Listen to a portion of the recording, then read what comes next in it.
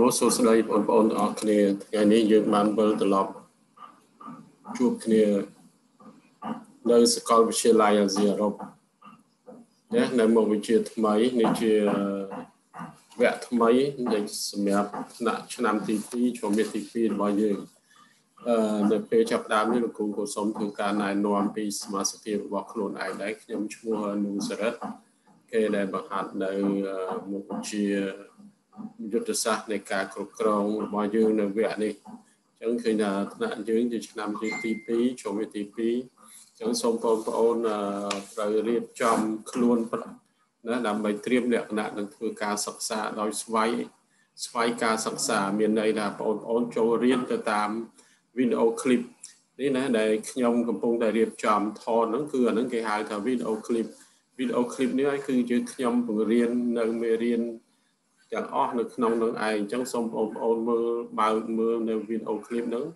ដើម្បីមើលឲ្យយល់នៅខ្លឹមសារនៅចំណុចនីមួយនីមួយគេឲ្យបានយល់បានដឹងបើសិនមិនយល់យើងនឹងជួបគ្នានៅអឺរៀងរាល់យប់ថ្ងៃថ្ងៃប្រហែលថាយើងរៀងរាល់ពេលដែលយើងត្រូវម៉ោងណាត់ជួបគ្នានេះគឺយើងត្រូវជួបគ្នារៀងរាល់ពេលហ្នឹងឯងបើវេនយប់យើងជួបគ្នារៀងរាល់យប់ថ្ងៃច័ន្ទអានឹងសម្រាប់សួរនាំ ឆ្ងល់ពីចម្ងល់អីមួយដែលកូនដែលបងប្អូនទាំងអស់គ្នាឆ្ងល់ឬក៏មិនយល់ពីបញ្ហាអីឬក៏ចង់ដឹងពីបញ្ហាបញ្ហាអីគេដែលចាំបងប្អូនត្រូវចាប់ផ្ដើមធ្វើការសិក្សាដោយស្វ័យសិក្សាខ្លួនឯងណាពួកយើងរៀនតាមអនឡាញគឺគេឲ្យយើងធ្វើការសិក្សាដោយខ្លួនឯងតាមវីដេអូឃ្លីបហើយនឹង បន្ទាប់មកយើងជួបគ្នា1ម៉ោងកន្លះដើម្បីធ្វើការពិភាក្សាសួរនាំចម្ងល់អីយ៉ាងម៉េចយ៉ាងម៉េចហើយនឹងខ្ញុំណែនាំដាក់ផែនការធ្វើ homework ហំអីយ៉ាងម៉េចអីយ៉ាងម៉េចនៅពេលនឹងឯងអញ្ចឹងបងប្អូនត្រូវតែអឺត្រង់ត្រាំស្ដាប់ដើម្បីតាមដានធ្វើការសិក្សាស្វែងយល់បងប្អូនទៅឆ្នាំទី2អញ្ចឹងជាជាជាកម្រិតថ្នាក់មួយដែលត្រូវការស្វែងយល់ឲ្យបានខ្លាំងមែនតើណានៅថ្នាក់ឆ្នាំទី2នេះឯង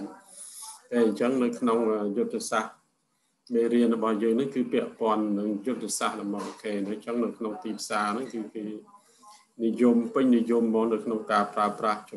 យុទ្ធសាស្ត្រដើម្បីធ្វើយ៉ាងណាអឺតាក់ទាញភ្ញៀវតាក់ទាញអតិថិជនឲ្យចាប់អារម្មណ៍ទិញផលិតផលអញ្ចឹងនៅក្នុងមេរៀនរបស់យើងយុទ្ធសាស្ត្រនៃការគ្រប់គ្រងរបស់យើងតើមានលក្ខណៈយ៉ាងដូចម្តេចខ្លះណាមុននឹងអឺ ចូលដល់មេរៀនរបស់យើងខ្ញុំសូមណែនាំសិនណាពាក់ព័ន្ធនឹងគោលដៅមេរៀនរបស់យើងនេះគឺមានន័យថាយន្តសាស្ត្រនៃការគ្រប់គ្រងគឺជាមេរៀនមួយដែល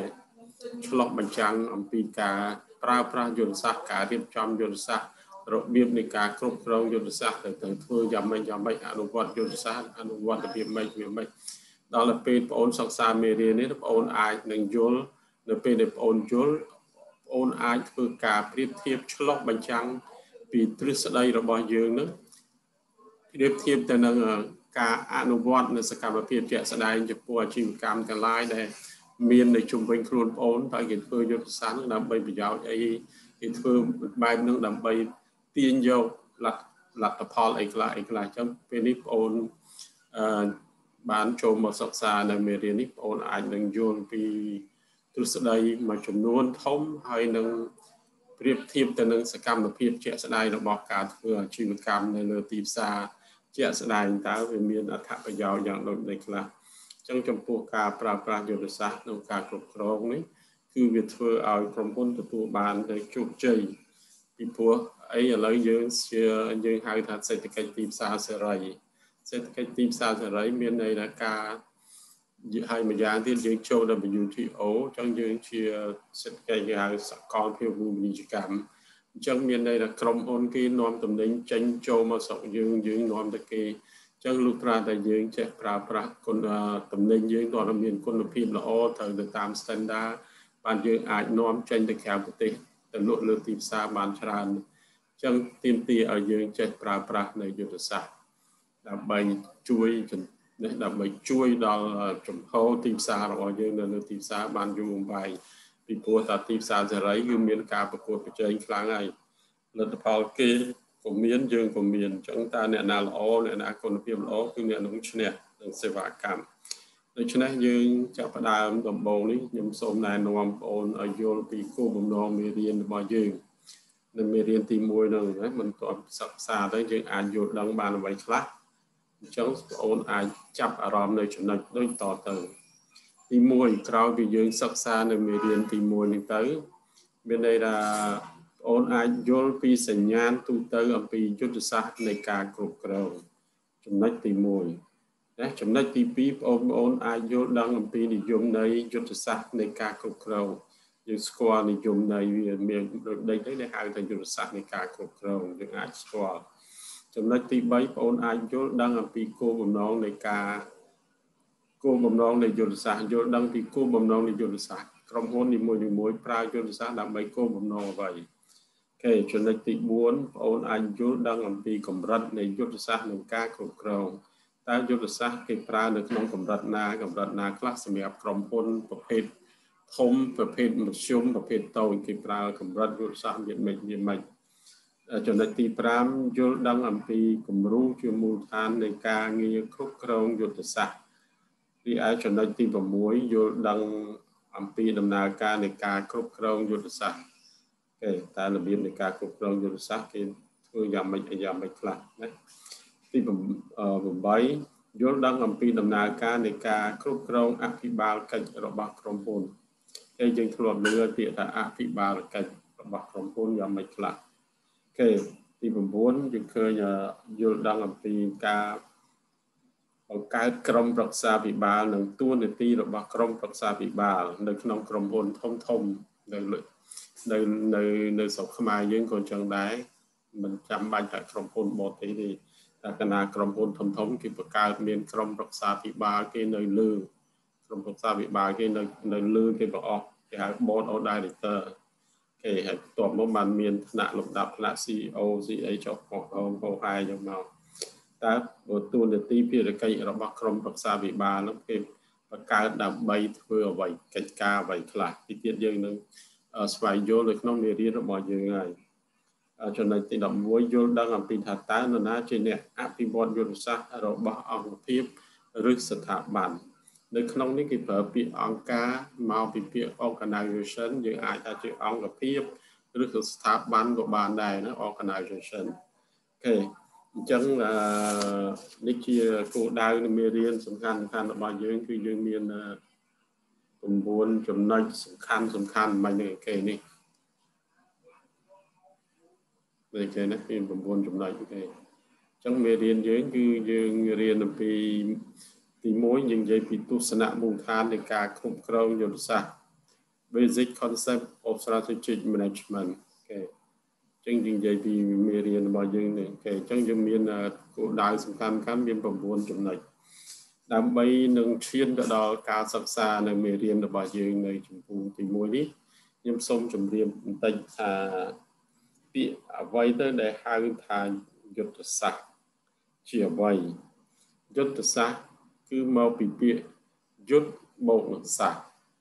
ហើយយើងធ្លាប់ដឹងហើយពាក្យយុទ្ធបូកនឹងសាស្ត្រចុះយុទ្ធនោះមានន័យថាម៉េចសាស្ត្រមានន័យថាដូចយ៉ាងម៉េចមើលបងអូនណាដឹងយុទ្ធមានន័យថាម៉េចហើយសាស្ត្រមានន័យថាម៉េចមើលបងអូនណាដឹងអាចឆ្លើយមកដើម្បីយើងបំពេញពាក្យនឹងឲ្យយល់ន័យផងវានៅចំណុចនីមួយមួយដូច្នេះមានន័យថាយុទ្ធមានន័យថាប្រយុទ្ធឬក៏ច្បាំងណា ប្រយុទ្ធឬក៏ច្បាំងយុទ្ធនឹងឯងគេដល់សាសមានន័យថាក្បួនច្បាប់ឬក៏វិធីដូច្នេះសរុបមកមានន័យ component ពាក្យទាំងពីរហ្នឹងគុំគ្នាមកមានន័យថាវិធីប្រយុទ្ធឬក៏ក្បួនប្រយុទ្ធឬក៏ច្បាប់នៃការប្រយុទ្ធច្បាំងប្រយុទ្ធច្បាំងជាដើមប៉ុន្តែប្រយុទ្ធច្បាំងនៅលើមេរៀនរបស់យើងមិនមែននេះទេគឺគេគេនិយាយពីវិធីប្រយុទ្ធ ក្បួនច្បាប់ប្រយុទ្ធសម្រាប់ប្រកួតប្រជែងក្នុងការធ្វើអាជីវកម្មក្នុងការធ្វើអាជីវកម្មនៅក្នុងទីផ្សារណានៅក្នុងទីផ្សារប្រយុទ្ធប្រឆាំងអំពីការធ្វើអាជីវកម្មនៅក្នុងទីផ្សារដោយប្រើប្រាស់យុទ្ធសាស្ត្រផ្សេងផ្សេងគ្នារបស់អង្គភាពនីមួយៗរបស់ក្រុមហ៊ុននីមួយនីមួយគេអញ្ចឹងខ្ញុំចង់បញ្ជាក់តិចដែរថាអ្វីទៅជាយុទ្ធសាស្ត្រគេយុទ្ធសាស្ត្រគឺជាអ្វី គេនិយាយថាអង្គភាពមួយបើសិនជាយើងដំណើរការគ្មានយុទ្ធសាស្ត្រគឺដូចជានាវាដែលគ្មានចង្កូតអញ្ចឹងវាអាចសួរថាវាអាចទៅមុខបានដល់គោលដៅដែរឬទេបើនាវាមួយអត់មានចង្កូតមានន័យថាវាមិនអាចទៅដល់គោលដៅទេគឺអញ្ចឹងវាទៅវិលនៅជុំវិញនៅនឹងឯងវានៅទៅវិលនៅនឹងឯងគេណាវាវិលនៅមួយកន្លែងអញ្ចឹងវាអត់ទៅដល់គោលដៅទេ អញ្ចឹងហើយប្រៀបដូចជាក្រុមហ៊ុនរបស់យើងអញ្ចឹងបើសិនជាក្រុមហ៊ុនយើងដំណើរការយើងអត់សិតអំពីយុទ្ធសាស្ត្រគិតរៀបចំយុទ្ធសាស្ត្រផែនការយុទ្ធសាស្ត្រទេមានន័យថាដំណើរការมันអាចទៅមុខទទួលបានជោគជ័យគឺនៅវិលនៅនឹងឯងធ្វើម្ដងម្ដងធ្វើនេះម្ដងធ្វើនោះគឺនៅនៅមួយកន្លែងនៅនឹងឯងអូខេអញ្ចឹងហើយបានជាគេឲ្យមានរៀបចំយុទ្ធសាស្ត្រអូខេ ចឹងយុទ្ធសាស្ត្រគឺជាការដូច្នេះមានន័យថាយុទ្ធសាស្ត្រគឺជាការរៀបចំផែនការការអនុវត្តការគ្រប់គ្រងណាយុទ្ធសាស្ត្រមានន័យថាគឺជាការ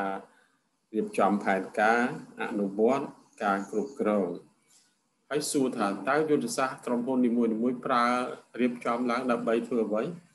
គឺដើម្បីសម្រាប់តាក់ទាញអតិថិជនឲ្យចាប់អារម្មណ៍ទិញផលិតផល ឬក៏សេវាកម្មរបស់ក្រុមហ៊ុនយើងឬមួយក៏ធ្វើឡើងដើម្បីផ្គប់ចិត្តដល់អតិថិជនព្រោះយើងដឹងហើយថាអតិថិជនមានន័យថាគឺជាអ្នកដែលមានអធិពលមកលើដំណើរការអាជីវកម្មបើយើងលក់គ្មានអតិថិជនទេមានន័យថាយើងលក់ឲ្យអ្នកណាហើយបើយើងលក់ឲ្យមានអតិថិជនបើយើងមិនចេះប្រើប្រាស់រៀបចំផែនការយុទ្ធសាស្ត្រទេសួរថាតើយើងតាក់ទាញអតិថិជនរបៀបយ៉ាងដូចម្ដេច ដើម្បីផ្គប់ចិត្តទេជនយ៉ាងដូចមួយយើងអត់ដែលធ្វើយុទ្ធសាស្ត្រស្អីតិចផងអត់មានដែលយុទ្ធសាស្ត្រលក់ដូចថាឧទាហរណ៍យើងឃើញពេលខ្លះក្រុមហ៊ុនខ្លះគេលក់2ថែម1ឬក៏ក្រុមហ៊ុនខ្លះពេលខ្លះគេលក់តម្លៃចុះតម្លៃ discount អីចឹងជាដើមគេអានេះគេធ្វើដើម្បីទាក់ទាញអតិថិជនឬក៏មានចាប់យករង្វាន់មានឆ្នោតចាក់រង្វាន់ឬអីជាដើមដើម្បីទាក់ទាញអតិថិជននិងផ្គប់ចិត្តអតិថិជន ដើម្បីចាប់អារម្មណ៍ទិញផលិតផលយើងចំណុចទី2យុទ្ធសាស្ត្រគឺគេប្រើដើម្បីជាចន្ទុលសម្រាប់ត្រោត្រង់ជំហរទីផ្សាររបស់ក្រុមហ៊ុននីមួយនីមួយដើម្បីឲ្យមាននិរន្តរភាពនៅលើទីផ្សារបានយូរអង្វែងតាមរយៈផលិតផលឬសេវាកម្មដែលមានគុណភាពត្រូវទៅតាមបទដ្ឋានបច្ចេកទេសហើយទន្ទឹមនឹងនោះក្រុមហ៊ុននីមួយនីមួយបានប្រើប្រាស់យុទ្ធសាស្ត្រផ្សេងផ្សេងគ្នា ដើម្បីធ្វើយ៉ាងណាតាក់ទាញអតិថិជនណាដើម្បីបំពេញចិត្តអតិថិជនឲ្យអតិថិជនចាប់អារម្មណ៍នឹងផលិតផលឬសេវាកម្មរបស់ក្រុមហ៊ុនខ្លួនចំណុចទីបន្តមកទៀតទី3មានន័យថាយុទ្ធសាស្ត្រគឺគេប្រើសម្រាប់ប្រតិបត្តិការដើម្បីប្រព្រឹត្តទៅនៅលើអង្គភាពមួយឲ្យបានរលូនល្អរៀបចំការប្រព្រឹត្តទៅរបស់ក្រុមហ៊ុនអេ ចំណុចមួយទៀតយុទ្ធសាស្ត្រគឺធ្វើឲ្យសម្រេចបាននៅគោលបំណងរបស់អង្គភាពសម្រេចបាននៅគោលបំណងរបស់អង្គភាពមានន័យថាធ្វើឲ្យក្រុមហ៊ុនទទួលបានភាពជោគជ័យឈ្នះគូប្រកួតប្រជែងដែលលក់បានច្រើនចំណូលច្រើនចំណេញក៏ច្រើនធ្វើឲ្យក្រុមហ៊ុនមានការរីកចម្រើនជាជាលំដាប់គេយុទ្ធសាស្ត្រមួយទៀតគេប្រើដើម្បីធ្វើការប្រកួតប្រជែងដោយទទួលបានជោគជ័យ ទេណាទទួលបានជោគជ័យអំពីការសម្រេចចិត្តឬជំរឿសដែលមានផលប៉ះពាល់មធ្យមនិងរយៈពេលវែង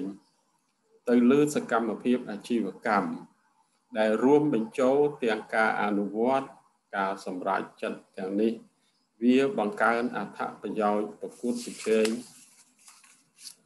និងកាត់បន្ថយនៅគុណវិបត្តិក្នុងការប្រកួតប្រជែងជាដើម ទេណាអញ្ចឹងខ្ញុំសូមបញ្ជាក់អឺពីដំបូងនៅចំណុចខែព្រឹងឯងហើយចំណុចមួយទៀតយើងមើលទៅលើការសិក្សាអំពីយុទ្ធសាស្ត្រការសិក្សាពីយុទ្ធសាស្ត្រគេចំណុចទី1គេនិយាយអំពីការសិក្សាពីយុទ្ធសាស្ត្រគេជាទូទៅយើងនេះអឺនៅពេលបច្ចុប្បន្ននេះគឺមានន័យថា ពាក្យថាយុទ្ធសាស្ត្រហ្នឹងគឺពេញនិយមណាស់ដែលគេត្រូវការប្រើប្រាស់សម្រាប់អាជីវកម្មក្រុមហ៊ុនអាជីវកម្មនឹងការគ្រប់គ្រងកិច្ចការនៅលើពិភពលោកធ្វើអ្វីៗក៏ដោយក៏យើងត្រូវរៀបចំនៅផែនការយុទ្ធសាស្ត្រដើម្បីជាគន្លងដើម្បីជាផ្លូវដើម្បីយើងអនុវត្តប្រតិបត្តិទៅតាមគន្លងនោះឯងដូច្នេះពាក្យថាយុទ្ធសាស្ត្រមានន័យថាគឺធ្វើសេចក្តីសម្រេចចិត្តនិងជ្រើសរើសទាំងឡាយ ណាដែលមានអតិពលចាប់ពីរយៈពេលលើសពីមធ្យមគេទៅរយៈពេលមកលើ សកម្មភាពអាជីវកម្មមួយ រួមមានការអនុវត្តនៃការធ្វើសេចក្តីសម្រេចចិត្តគេយុទ្ធសាស្ត្រគឺវាបែបនេះឯងហើយយើងមើលឧទាហរណ៍ជាក់ស្ដែងណាយើងនៅក្នុងនេះយើងឃើញភាពជោគជ័យនៃយុទ្ធសាស្ត្ររបស់សាកលវិទ្យាល័យអាស៊ីអឺរ៉ុប តាមប្រភពព័ត៌មានកាលពីឆ្នាំ2017 2018សាកលវិទ្យាល័យអាស៊ីអឺរ៉ុបគឺមានគោលដៅជាយុទ្ធសាស្ត្រផ្ដោតទៅលើគុណភាពជាចម្បងធ្វើឲ្យសាកលវិទ្យាល័យអាស៊ីអឺរ៉ុបមានកេរ្តិ៍ឈ្មោះមុខមាត់ល្បីនៅក្នុងចំណោមសាកលវិទ្យាល័យរដ្ឋនិងឯកជននៅក្នុងរាជធានីភ្នំពេញនេះតែម្ដងគេនេះមានធ្វើឲ្យដោយសារ សាកលវិទ្យាល័យបានកំណត់នូវយុទ្ធសាស្ត្រមួយបានល្អហើយគេអនុវត្តទៅប្រកបដោយប្រសិទ្ធភាពទទួលបានភាពជោគជ័យធ្វើពាក់ព័ន្ធទៅនឹងគុណភាពនៃការអប់រំធ្វើឲ្យក្រុមសាកលវិទ្យាល័យសេរ៉ុបទទួលបាននៅគេឈ្មោះមុខមាត់នៅនៅទូទាំងរាជធានីភ្នំពេញក៏ដូចនៅទូទាំងប្រទេសចឹងដែរគេអ្នកណាក៏ស្គាល់អ្នកណាក៏ស្គាល់ដែរសាកលវិទ្យាល័យអាស៊ីអឺរ៉ុបគេជាបន្តមកទៀតយើងចូលមកចំណុចមួយទៀត ចំណុចទី2គេនិយាយអំពីគោលបំណងនៃយុទ្ធសាស្ត្រសួរថាតើយើងរៀបចំយុទ្ធសាស្ត្រដើម្បីគោលបំណងអ្វីគេមើលបងប្អូនណាស់ដឹងទេតើយុទ្ធសាស្ត្រដែលក្រុមហ៊ុនស្ថាប័ននីមួយៗរៀបចំមកគឺដើម្បីគោលបំណងអ្វីខ្លះជាទូទៅនេះគោលបំណងរបស់យុទ្ធសាស្ត្រគឺដើម្បីអភិវឌ្ឍ ធ្វើម៉េចឲ្យក្រុមហ៊ុនឬក៏អង្គភាពមានការរីកចម្រើនទទួលបានភាពជោគជ័យនៅក្នុងការងារអាជីវកម្មក៏ដូចវិស័យអប់រំជាដើមទេអាហ្នឹងទៅតាមដំណើរការទៅតាមការប្រព្រឹត្តទៅរបស់ក្រុមហ៊ុននីមួយៗនៅក្នុងករណីនេះមានន័យថាការអង្គការឬក៏អង្គភាពប្រកួតប្រជែងចង់ឲ្យមានព្រៀបលើដៃគូប្រកួតប្រជែងរបស់ខ្លួនណាមាន មានឧត្តមភាពប្រកួតប្រជែងលើដៃគូរបស់ខ្លួនអានឹងហើយដែលយើងនិយាយថាជាភាពជោគជ័យរបស់អង្គភាពណាគេបើសិនជាអឺគេជាជាភាពជោគជ័យរបស់អង្គភាពចំណុចទី3កម្រិតយុទ្ធសាស្ត្រគេកម្រិតយុទ្ធសាស្ត្រត្រូវបានគេប្រើប្រាស់យ៉ាងទូលំទូលាយគេ ត្រូវបានគេប្រើប្រាស់យ៉ាងទូលំទូលាយដែលមានកម្រិត3នៃយុទ្ធសាស្ត្រធ្វើណាដែលមាន3កម្រិតសម្រាប់យុទ្ធសាស្ត្រធ្វើសេចក្តីសម្រេចចិត្តរួមមានយុទ្ធសាស្ត្រកម្រិតសាជីវកម្មយុទ្ធសាស្ត្រកម្រិតអាជីវកម្មយុទ្ធសាស្ត្រកម្រិតមុខងារជំនាញតាមជំនាញមុខងារនីមួយនីមួយឥឡូវអឺតើបងប្អូនយល់ដែរដូចម្ដេចទៅដែលហៅថា ក្រុមហ៊ុនសាជីវកម្មដូចម្ដេចដែលហៅថាក្រុមហ៊ុនអាជីវកម្មគេអញ្ចឹងខ្ញុំសូមបញ្ជាក់តិចបើពុំបញ្ជាក់តិចកន្លែងនេះមានន័យថាយុទ្ធសាស្ត្រអឺយុទ្ធសាស្ត្រកម្រិតសាជីវកម្មក្រុមហ៊ុនសាជីវកម្មមានន័យថាជាក្រុមហ៊ុនមួយ ដែលមានលក្ខណៈទ្រង់ទ្រាយធំទ្រង់ទ្រាយធំហើយពាក់ព័ន្ធទៅនឹងច្បាប់របស់ប្រទេសជាតិច្បាប់ទម្លាប់ច្រើនណាស់ដែលពាក់ព័ន្ធនឹងច្បាប់គេ ហើយជាពិសេសគឺសាជីក្រុមហ៊ុនសាជីវកម្មគឺស្ថិតនៅក្រោមការត្រួតពិនិត្យរបស់ក្រសួងសេដ្ឋកិច្ចហិរញ្ញវត្ថុហើយនិងធនាគារជាតិនៃកម្ពុជាព្រោះពាក់ព័ន្ធទៅនឹងការបោះអីគេហៅថាមូលបត្រលក់ដូច្នេះដើម្បីឲ្យដំណើរការបានរលូនចឹងក្រុមហ៊ុននេះត្រូវមានច្បាប់ទម្លាប់ពាក់ព័ន្ធទៅនឹងក្រសួងសេដ្ឋកិច្ចអេរ៉ានថោ ច្បាប់ទម្លាប់ពាក់ព័ន្ធទៅនឹងធនាគារជាតិទៅធ្វើយ៉ាងម៉េចយ៉ាងម៉េចជាក្រុមហ៊ុនមួយធំគេដែលគេដំណើរការបោះមូលបត្រលក់សម្រាប់អតិថិជនអឺនៅក្នុងប្រទេសនីមួយៗហើយជាក្រុមហ៊ុនមួយដែលរកស៊ីភាគច្រើនក្រុមហ៊ុននឹងឯងជាភាគច្រើនជាក្រុមហ៊ុនដែលរកស៊ីធ្វើធ្វើអាជីវកម្មទទួលបានភាពជោគជ័យខ្លាំងណាស់បានគេបើកទៅជាក្រុមហ៊ុនសាជីវកម្មបាន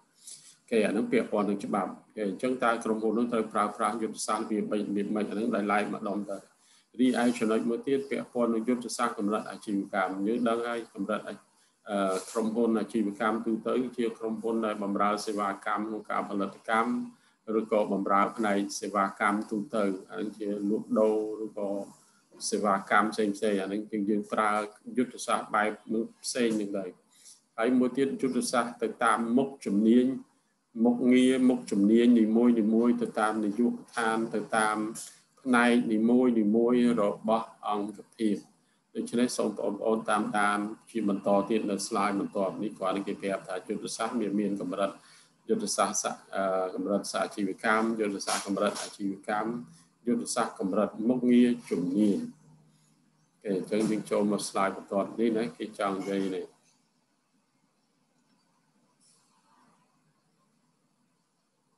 យុទ្ធសាស្ត្រកម្រិតសាជីវកម្ម corporate strategy មានន័យថាពាក់ព័ន្ធគេមានន័យថាវាពាក់ព័ន្ធជាមួយនឹងបញ្ហាយុទ្ធសាស្ត្រដែលតាក់ទងទៅនឹងអាជីវកម្មទាំងអស់ត្រូវបានគ្រប់គ្រងដោយក្រុមហ៊ុនសាជីវកម្មគឺគេរៀបចំធ្វើផែនការមេគេហៅ business plan ឬក៏ផែនការយុទ្ធសាស្ត្រសម្រាប់អាជីវកម្មអញ្ចឹងគេទៅសេនៅក្នុង ផែនការមេនោះគឺដើម្បីអនុវត្តដំណើរការក្រុមហ៊ុនសាជីវកម្មទៅដំណើរការយ៉ាងម៉េចយ៉ាងម៉េចខ្លះគេណាមានការបោះបានលក់បានតម្លៃយ៉ាងម៉េចខ្លះហើយរបៀបនៃការទិញលក់នោះរបៀបម៉េចខ្លះមានជំរឿសវាច្រើនដើម្បីអតិថិជនមានលទ្ធភាពជ្រើសរើសតាមវិធីណាមួយយ៉ាងទៅគេដើម្បីអតិថិជនមានក្តីរំពឹងទៅលើអរិញថា ការទិញរបស់គេនឹងទទួលបានប្រាក់ចំណេញនៅពេលទៅថ្ងៃអនាគតគេអញ្ចឹងនៅក្នុងផែនការមេគឺត្រូវបានសរសេរលំអិតយ៉ាងខ្លាំងហើយនៅក្នុងនោះឯងអ្នកដែលសរសេរផែនការមេសិនអ្នកជំនាញឧទាហរណ៍ដូចជំនាញផ្នែកគណនេយ្យណាជំនាញផ្នែកផែនការរ៉ាំថុជាដើមជាអ្នកសរសេរនៅក្នុងផែនការក្នុងអាជីវកម្មអញ្ចឹងវាពាក់ព័ន្ធយុទ្ធសាស្ត្រនេះគឺពាក់ព័ន្ធទៅនឹងអាជីវកម្មទាំងអស់ គ្រប់ណាដែលគេយកមកប្រើប្រាស់ដើម្បីគ្រប់គ្រងក្រុមហ៊ុនសាជីវកម្មមួយដោយប្រើប្រាស់ផែនការមេឬក៏ផែនការយុទ្ធសាស្ត្រនេះបានសរសេររយរាប់ពីអឺខ្លឹមសារពី process របស់គេត្រូវធ្វើយ៉ាងម៉េចយ៉ាងម៉េចខ្លះនៅក្នុងនោះឯងគេជាបន្តទៅទៀតចំណុចទី2យុទ្ធសាស្ត្រកម្រិតអាជីវកម្មយើងឃើញពាក្យ business strategy មានន័យថាវាពាក់ព័ន្ធទៅនឹងផ្នែកអាជីវកម្មនីមួយនីមួយដោយខ្លួនឯងផ្ទាល់ ណាក្រុមហ៊ុនអាជីវកម្មមួយមួយពាក់ព័ន្ធនឹងខ្លួនឯងផ្ទាល់តាក់ទងទៅនឹងដៃគូប្រកួតប្រជែងដើម្បីធ្វើយ៉ាងណាឲ្យសម្រេចនៅគុណសម្បត្តិនៃការប្រកួតប្រជែងនិងសហប្រតិបត្តិការមានន័យថា business មួយមួយក្រុមហ៊ុននីមួយមួយត្រូវតែមានផែនការរៀងៗខ្លួនដើម្បីធ្វើការប្រកួតប្រជែងនៅក្នុងទីផ្សារដើម្បីប្រកួតប្រជែងឲ្យមានគេហៅថា ដំភាពនៅក្នុងការប្រកួតប្រជែងឲ្យលើកធ្វើឲ្យឲ្យមានលក្ខណៈល្អធ្វើឲ្យមានលក្ខណៈប្រសើរជាងគូប្រកួតប្រជែងនៅតំណែងនិងឬសេវាកម្មដែលមានគុណភាពត្រូវតាមបទដ្ឋានសង្ដាណាផលិតផលយើងមានអាចមាន ISO មានន័យថាធ្វើឲ្យល្អលើសគូប្រកួតប្រជែងអញ្ចឹងតាមរយៈការធ្វើផែនការកម្រិតអាជីវកម្ម ផែនការកម្រិតអាជីវកម្ម business plan ហ្នឹងអញ្ចឹងយើងត្រូវតែសេរបៀបមិនរបៀបមិនពីគោលដៅពីប្រវត្តិក្រុមហ៊ុនពីគោលដៅគោលបំណងពីបេសកកម្មពីចក្ខុវិស័យពីការប្រតិបត្តិការងារពាក់ព័ន្ធនៅអ្នកចូលពាក្យហ៊ុនវាអីនៅក្នុងនឹងឯងចូលរួមនៅក្នុងតែគេទៅសេនៅក្នុងផែនការកម្លាំងជីវកម្មនីមួយនីមួយមានទិសដៅទៅធ្វើអីខ្លះអីខ្លះគេក្នុងករណីហ្នឹងមានដូចជាឧទាហរណ៍ភោជនីយដ្ឋានណាយើងឃើញដូចជា ភោជនីយដ្ឋានធំធំអាហ្នឹងគឺគេគេឃើញភោជនីយដ្ឋានសង្ក្រាក់សន្តាគារធំធំអឺកន្លែងក្លឹបទេសចរជាដើមអញ្ចឹងគឺមានគោលការណ៍ខុសខុសគ្នាភោជនីយដ្ឋាននីមួយៗមានគោលការណ៍ខុសខុសខុសគ្នាសន្តាគារក៏អញ្ចឹងដែរគេមានរបៀបរបបមាន policy គោលការណ៍របស់គេផ្សេងផ្សេងគ្នាហើយតំបន់ទេសចរក៏អញ្ចឹងដែរគេណាមានគេធ្វើទៅដើម្បីអី ដើម្បីទាក់ទាញអតិថិជនដើម្បីបំពេញតម្រូវការរបស់អតិថិជនដែលគាត់ចូលចិត្តក៏ប៉ុន្តែយយុទ្ធសាស្ត្រទាំងអស់នោះមិនមិនប្រើដូចគ្នាទេទៅតាមស្ថានភាពទៅតាមទីតាំងទៅតាមកលៈទេសៈទៅតាមពេលវេលារបស់វានីមួយនីមួយអូខេអញ្ចឹងអានេះចំណុចទី2យុទ្ធសាស្ត្រកម្រិតអាជីវកម្មអញ្ចឹងសូមបងប្អូនតាមដានមើលបន្តមកទៀតនៅចំណុចទី3គេនិយាយពីយុទ្ធសាស្ត្រកម្រិតមុខងារ functional strategy functional នេះមានន័យថាតាមមុខងារឬតាមផ្នែកនីមួយៗយុទ្ធសាស្ត្រមានន័យថាគេវាពាក់ព័ន្ធទៅនឹងជំនាញនីមួយនីមួយពាក់ព័ន្ធទៅនឹងផ្នែកជំនាញនីមួយនីមួយនៃអាជីវកម្មដែលត្រូវបានគេរៀបចំដាក់ចេញឲ្យដំណើរការឧទាហរណ៍នៅក្នុងអឺនាយកដ្ឋានមួយឧទាហរណ៍ណានៅក្នុងនាយកដ្ឋានមួយវាមាន អនុប្រធាននាយកដ្ឋាន5អនុប្រធាននាយកដ្ឋាននីមួយៗកាន់ផ្នែកអីផ្នែកអីផ្នែកអីចឹងដែរឧទាហរណ៍ដូចនៅនេះណាផ្នែកនាយកផែនការគេដាក់ចេញមកនាយកដ្ឋានផែនការអឺមានដូចជាផ្នែក marketing ណាអានឹងមានប្រធានគេមួយអឺធនធានមនុស្ស HR ណាយើងនិយាយថាបើនឹងយើងនៅក្រៅក្រសួងទីគេហៅការិយាល័យធនធានមនុស្សទេ ផ្នែកគណនេយ្យរញ្ញថោផ្សេងនៅផ្នែកផលិតកម្មផ្សេងនៅផ្នែកព័ត៌មានវិទ្យាផ្សេងនៅផ្នែក operation ប្រតិបត្តិការផ្សេងនៅចុង marketing ត្រូវប្រើប្រាស់យុទ្ធសាស្ត្រអ្វីឲ្យសមទៅនឹងអឺជំនាញរបស់គេទីផ្សារណាអញ្ចឹងអ្នកនៅធ្វើការនៅផ្នែក marketing គាត់ត្រូវការជំនាញរបៀបម៉េចដើម្បីធ្វើកម្មភាពមិនខ្លះដើម្បីធ្វើការងារឲ្យត្រូវជំនាញរបស់គាត់ ចឹងគាត់ត្រូវជាអ្នកសិក្សាទីផ្សារអីចឹងទៅអ្នកសិក្សាទីផ្សារអ្នកស្រាវជ្រាវទីផ្សារអ្នក survey អតិថិជនតើអតិថិជនចូលចិត្តប្រើប្រាស់ផលិតផលរបៀបម៉េចសួរនាំអីចឹងទៅអាហ្នឹងជំនាញរបស់គាត់មួយទៅប្រើយុទ្ធសាស្ត្របែបហ្នឹងឯងតាក់តិចតាក់តិចនៅក្នុងនោះទៀតបើតាក់ទាញឲ្យគាត់អាចយល់អាចដឹងពីផលិតផលរបស់យើងគាត់ចាប់អារម្មណ៍ពីផលិតផលយើងអាចនឹងទិញផលិតផលយើង អានឹងជំនាញហ្នឹងគឺប្រើយុទ្ធសាស្ត្រផ្សេងមើលទៅដូចជំនាញធនធានមនុស្សអញ្ចឹងគាត់ទៅអ្នកគ្រប់គ្រងធនធានមនុស្សក៏មានយុទ្ធសាស្ត្ររបស់គេដែរមានន័យថាគេមើលស្ដាប់ចំនួនបុគ្គលិកនៅក្នុងអង្គភាពតើមានប្រមាណអ្នកផ្នែកណាខ្លះត្រូវការមនុស្សប្រមាណអ្នកហើយជំនាញអីខ្លះអីខ្លះបើខ្វះគឺគេប្រើប្រាស់នៅយុទ្ធសាស្ត្រមួយដោយធ្វើការប្រកាសជ្រើសរើសជំនាញនេះជំនាញនេះចំនួនប៉ុណ្ណេះអ្នកប៉ុណ្ណេះអ្នកដើម្បីដាក់ បំពេញនៅកន្លែងណាមួយដែលខ្វះមនុស្សអញ្ចឹងដែរគេណាអានឹងហើយគេប្រើប្រាស់យុទ្ធសាស្ត្រគេនៅពេលដែលជ្រើសរើសត្រូវការធ្វើ short list ធ្វើ test ធ្វើអីអីចឹងមកបានអាចថាជាប់ហើយទៅធ្វើការបដោះបដាលធ្វើការទូទាត់ដំណងផ្សេងផ្សេងឲ្យដល់បុគ្គលិកពីពាក្យគិតពីពាក់ព័ន្ធសុខភាពការងារអីហោហាយចឹងដែរអានឹងគឺជាយុទ្ធសាស្ត្រមួយទៅសម្រាប់ផ្នែកជំនាញ ដល់ផ្នែកគណនេយ្យហិរញ្ញវត្ថុគឺគេគេមានជំនាញរបស់គេគិតមានគេគិតគេគ្រប់គ្រងថវិកាកត់ត្រាចំណូលចំណាយខាតចំណេញគ្រប់គ្រងផ្នែកហិរញ្ញវត្ថុតើមានលុយប៉ុន្មាននៅសល់ប៉ុន្មានគេជាពាក់យើងប៉ុន្មានយើងខ្ចីគេប៉ុន្មានយើងជាពាក់គេអីអ្នកណាខ្ចីខ្លះពាក់ខ្លះយើងត្រូវគ្រប់គ្រងអានោះឲ្យបានត្រូវមានយុទ្ធសាស្ត្រមួយធ្វើយ៉ាងណាបើសិនជាយើង ដំណើរការក្រុមហ៊ុនយើងផលិតទំនិញលក់ទៅវាដាច់ហើយយើងខ្វះលុយអញ្ចឹងយើងត្រូវធ្វើលើម៉េច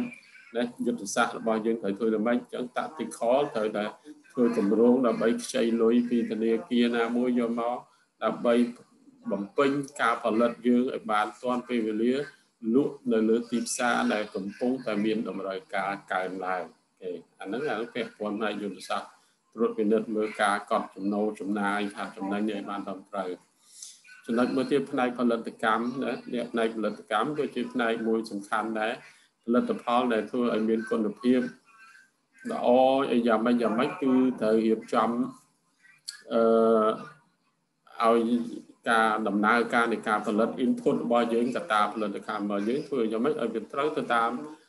បទដ្ឋានបច្ចេកទេសអញ្ចឹងយើងត្រូវដាក់វត្ថុធាតុដើមប្រមាណភាគរយអាណាប្រមាណភាគរយប្រមាណភាគរយអញ្ចឹងធ្វើឲ្យផលិតផលចេញមកមានគុណភាព ល្អតែម្ដងដោយមិនបាច់ត្រួតពិនិត្យផ្នែកព័ត៌មានវិទ្យាក៏ចឹងដែរជំនាញគេគេត្រូវការត្រូវការរែង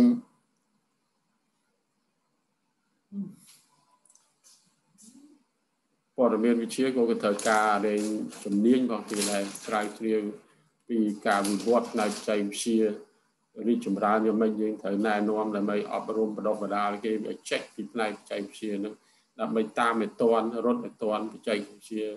សកលបច្ចេកវិទ្យានៃសកលពិភពពាណិជ្ជកម្មហ្នឹងវាលឿនដើរលឿនយ៉ាងម៉េចយើងត្រូវណែនាំចូលមកគេអានេះមានន័យថាយុទ្ធសាស្ត្រទៅតាមជំនាញនីមួយនីមួយទេចឹងសូមសម្រាប់ប៉ុណ្ណឹងសិនគេអញ្ចឹងគេអរគុណសូមសម្រាប់ប៉ុណ្ណឹងសិន